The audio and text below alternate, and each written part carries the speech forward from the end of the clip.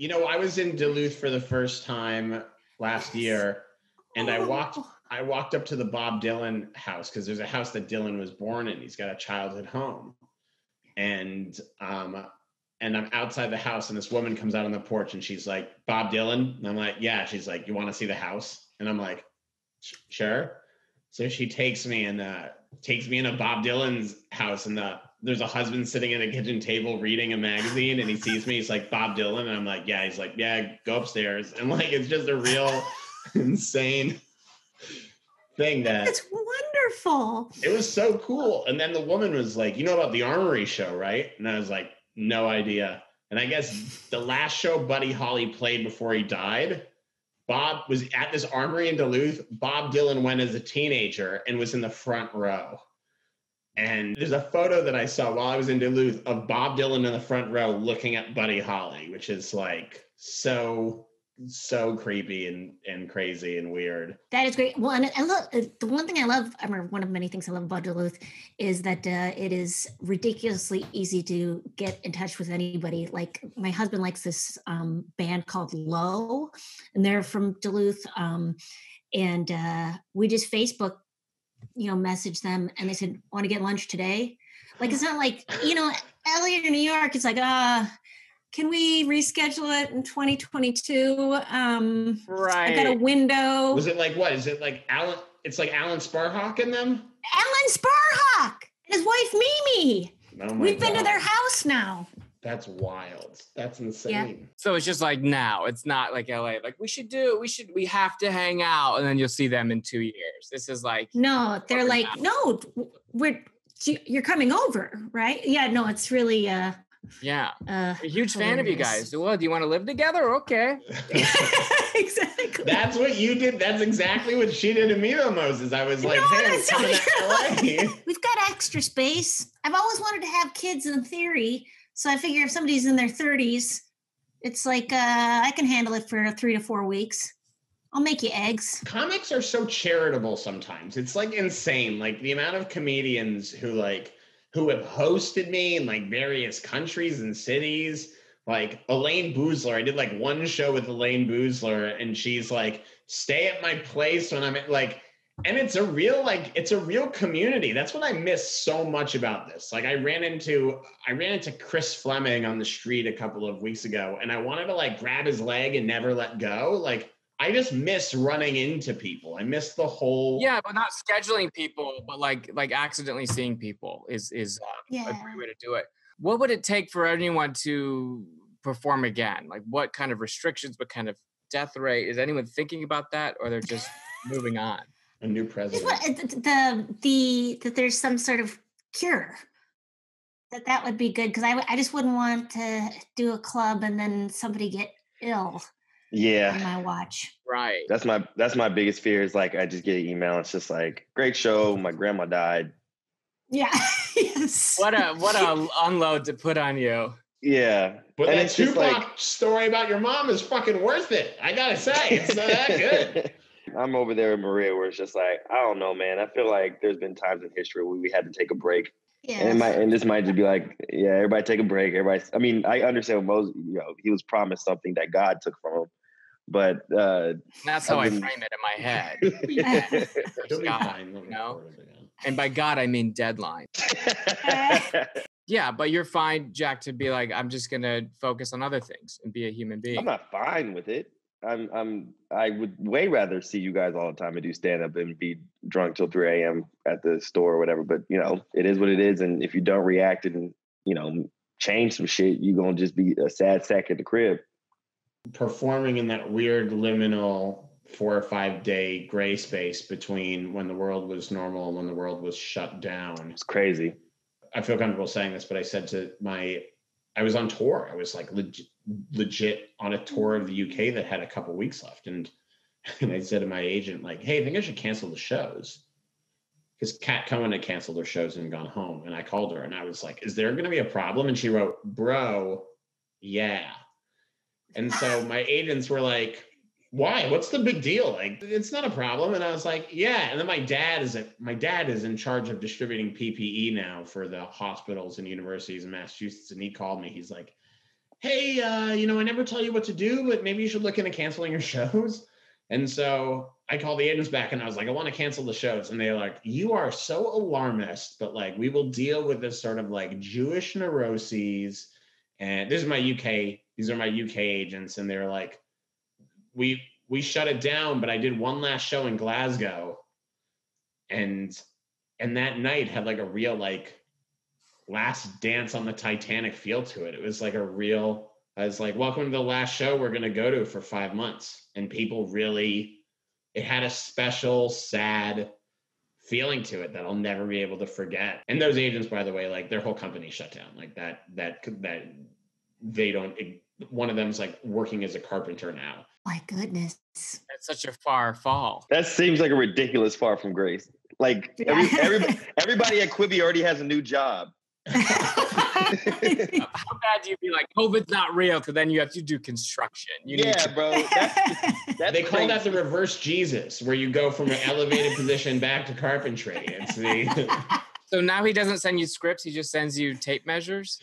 He genuinely was like, "Hey, I'm working on this table." And it, like that's the kind of thing he's like, I'm working on this table. Do you want to be involved? We got a good part for it. No, but like I got legs attached. Legs are attached. Uh, we're circling some stain. We're looking at.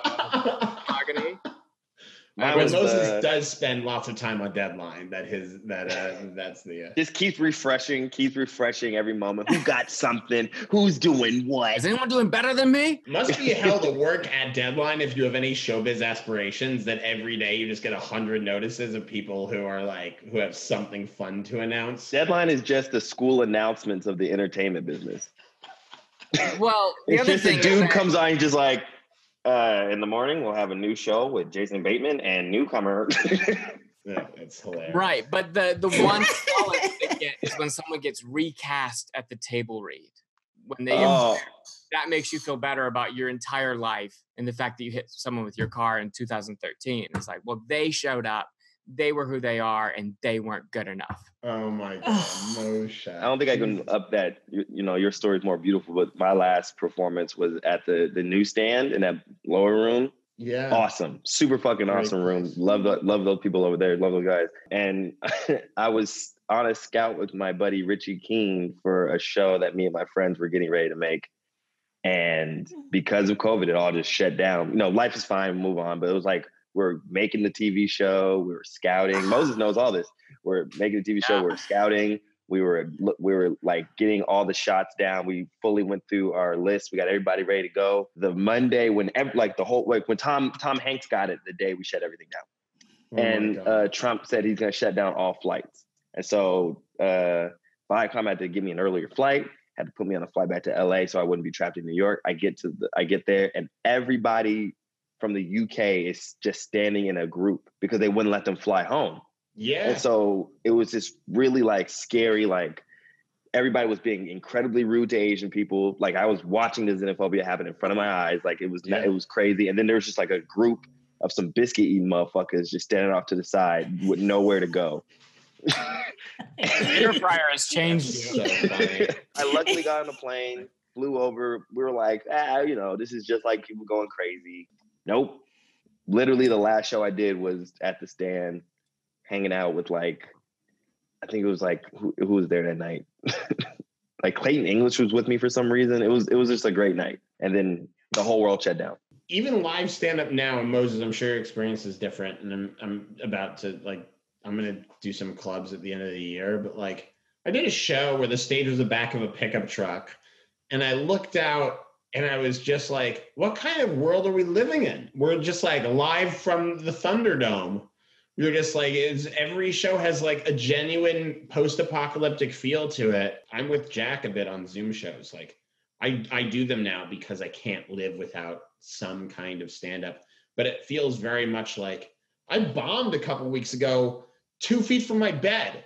Like, That's hard. You can't leave the venue. I, yeah, like if I really want to look at a place I truly bombed, I have to go to like Sunnyvale, California and remember 2013. Now it's just like, oh yeah, I remember three months ago where on my couch I bombed. Like Where a guy kept playing video games with his sister while I was on stage. Oh, that's great. They they completely tuned out. yeah, just completely. Just that's that's better than not levy. It's just like I it's on your a tab. That's, That's the that's the other thing. There's no like audience accountability. So like when if Right. if they heckle, it's like that motherfucker in Wisconsin. What you really gonna do? yeah, you can come back and we'll just turn off his camera. You can't crush a heckler who lives in a uh, like a different state. so everyone uh, can stay on except Maria. You have three seconds to say who you It's out of time. So sorry. Uh, yeah, we are out of time, but this is honestly so much fun that um, you know I was out in a very real way having a rough morning for whatever reason, and uh, this made me feel better. So thank you for for uh, coming on this with me. It's just nice to This see is- everyone. it's Like it's good to see people's faces. Does anyone have anything uh, coming up that they want to uh, get the message out about? I know Jak has uh, Doomsday Mixtape, which is the podcast I was talking about, which I highly recommend. Don't fall asleep to it; it's hilarious. So good. I think Big Mouth's coming out at some point. Some other news will probably come out when white people allow me to say it. I'm giving you permission. Yeah. I can say. I can say. Okay, guys, guess what? Um, I've got an album out. I just put out an album because I was like, I need somehow to still be putting out stand up. But I put out an album called Until Now, which I recorded at Acme, Maria, in uh, Nice. Minneapolis. I love Lovely. Acme. I love Acme. Lovely. And also, um, I've been phone banking for the Biden campaign a lot. And if people have spare time now, you should phone bank. It's super easy, and apparently it really helps. So, like, now it sounds so dumb, but like, I don't know. It'd be really nice to have a new president in a couple of weeks. So, so maybe Just don't ruin my birthday. is that your birthday, Jak? My birth my birthday is the sixth. So whatever happens on the third, I know the voting is probably gonna take one to two weeks to actually get everything together, and I know they're gonna try and destroy the election. We can talk about this another day, but just like let me at least, if you're gonna if you're gonna either blow Biden out the water, and we're like we live in a terrible place, don't make it some weird contention that my birthday is awkward. yeah. Right. Everyone needs to phone bank. We're do- not doing any Either, birthday. yeah, either Biden blows him out or Trump blows him out, but I need my day. you need your day. It's important to uh, In all of scream this. And that's very Scorpio. Yeah, That's yeah. very Scorpio. So Thank you, thank you, Scorpio, thank you, thank you. Uh, Maria, you have anything coming up that people should check out? I have a free Audible book that you can get on uh, Audible um, called "You Are a Comedy Special." Um, it's about two hours long, and it's a 15-step guide how to write your own uh, one-hour comedy. se- Force how to force yourself. Force yourself. Force yourself Write into a it. full hour of comedy, because uh, that's what I have to do. Um, it doesn't come naturally. Anyway, so that, that's the only thing I have to plug. Great. Also, you're Yep. selling two vibrators in case anybody is curious. Well, I have to say those have been saged and been put in saged. uh, local trash for Duluth, Minnesota. It's illegal to sell things that have been saged. Um, that, that's our show. This is this is uh, so fun on a very personal. Thank personal you, level. Moses. Yeah, Yay, Moses, thank you, love Moses. So you, nice buddy. to see you guys. It's thank you so, nice much. to see you. Maria Thank. Bamford, Alex Edelman, and Jak Knight. Uh, thank you, and and hang in there. Hope you have a great week. Right. Bye.